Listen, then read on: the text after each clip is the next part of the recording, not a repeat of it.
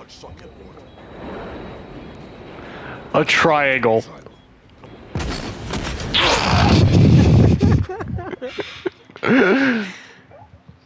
That's pretty good.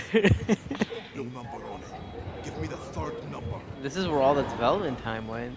What did he ask? Third number. I don't even know. Six. Number six. Copy. Stand by. I don't know. That looks like a nine to me. Oh, because it's upside down. On the red wire.